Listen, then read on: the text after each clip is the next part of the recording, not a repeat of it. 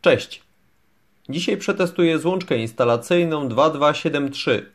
Jest to złączka kompaktowa do puszek instalacyjnych, przeznaczona do przewodów typu drut. Przekrój jaki obsługuje to od 0,5 do 2,5 mm kwadrat. Prąd nominalny tej złączki to 24 A. Złączka wytrzymuje do 105 stopni Celsjusza, czyli maksymalna temperatura dopuszczalna długotrwale to 105 stopni Celsjusza.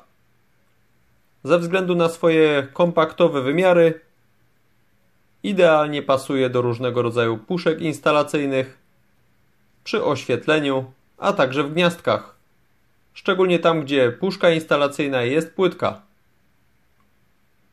Tutaj będziemy mieli obok dane z testu dotyczące popularnej złączki instalacyjnej Wago 221, więc będziemy mogli porównać wyniki. Rozpoczynamy test od 30 A i będziemy zwiększać o 10 A względem testu, tak aby zweryfikować jaki jest maksymalny prąd przepływający przez tą złączkę i w którym momencie dopiero zaczyna się ona topić i czy zerwie połączenie.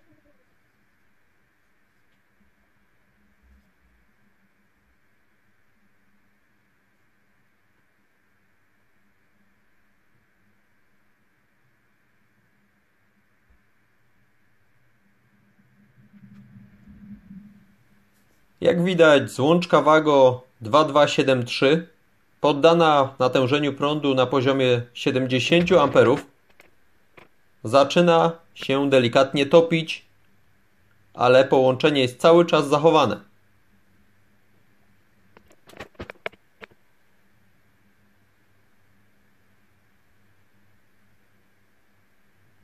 Przypominam, że złączka Wago 2273 jest przeznaczona dla prądu nominalnego 24 A.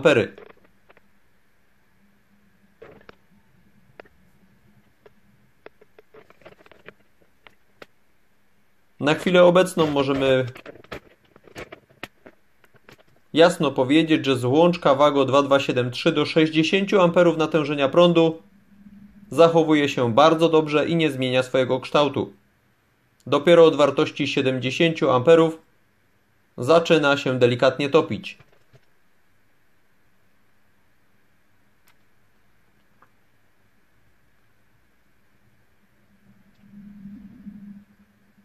Poddamy teraz złączkę natężeniu prądu na poziomie 80 A. Temperatura złączki to 260 stopni Celsjusza i rośnie. Złączka w tym momencie ulega stopieniu. Jednak ani na chwilę połączenie nie zostało przerwane.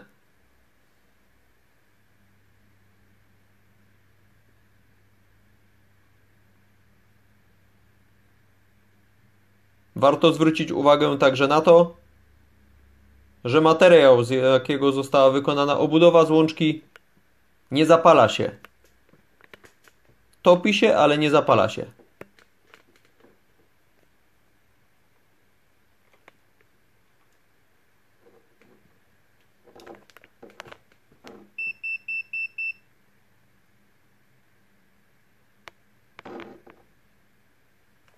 Złączka Wago 2273 w stosunku do złączki Wago 221 jest mniej wytrzymała, bo jest przeznaczona dla prądu na poziomie 24 A, a złączka Wago 221 jest przeznaczona dla prądu 32 A. W związku z czym nie ma się co dziwić, że mamy różnicę w temperaturach w stosunku tych dwóch złączek, bardzo popularnych złączek. Ok, w tym momencie możemy uznać, że nasza złączka jest już zdegradowana, chociaż nadal połączenie jest w pełni poprawne. Temperatura złączki, a w zasadzie tego co zostało, to 260 stopni Celsjusza. Jeszcze przez chwilę będziemy kontynuować test, ale myślę, że w tym momencie możemy kończyć. Wyniki warto, abyście sobie przeanalizowali. Po prawej stronie są wyniki dla złączki Wago 221. Dla takiego samego testu.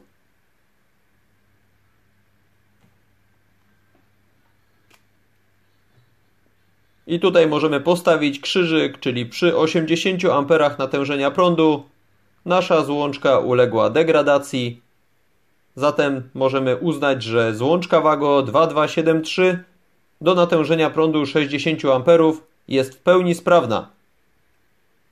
Powyżej 60 A ulega stopieniu, a na poziomie 80 A przewodzi nadal prąd, ale obudowa jest już oddzielona. Tak więc graniczna wartość bezpieczna dla tej złączki to 60 A.